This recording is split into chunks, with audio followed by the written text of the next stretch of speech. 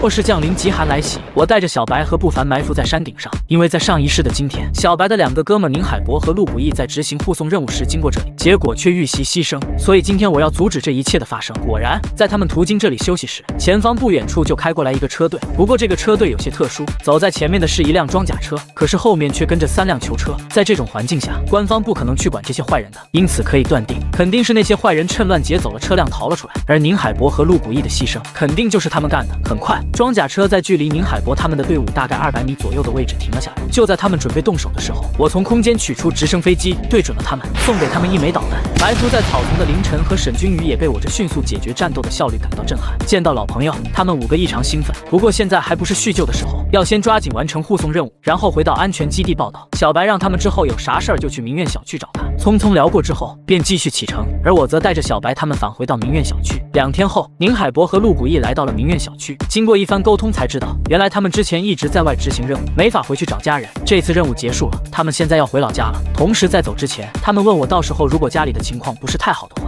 是否可以带着家人加入我的队伍。我并没有拒绝他们。在这样的末世，做孤狼太难了，必须每时每刻紧绷着那根弦。团队合作才是末世的生存之道。更何况他们还是信得过的人。来到楼下，我从空间取出两辆越野车，又取出一些物资放在了车上。随后，宁海博和陆谷义就踏上寻亲之路。接下来的几天并没有什么事情，时间来到九月八号，我准备继续开启我的交易之路。我打算到安全基地附近用粮食去换金玉来给我的空间升级。这次我准备带着团队的全体成员一起出发。来到楼下，我从空间取出车，向安全基地开去。两个小时后，我在距离安全基地一点五公里左右的一个山脚下停了下来。此地前面视野开阔，周围无遮挡物，背靠山坡树林，山坡。遮挡住了安全基地那边的视线，降低了安全基地官方对我们的窥视。倒不是怕他们，只是有些麻烦，能避则避，没有必要浪费时间。而前面几百米就是安全基地人员出入的必经之路，所以人流也不错。我从空间取出了粮食放在了货车上，并把事先写好的横幅挂在了车厢上。金玉可换粮，换率一比三。没过多久，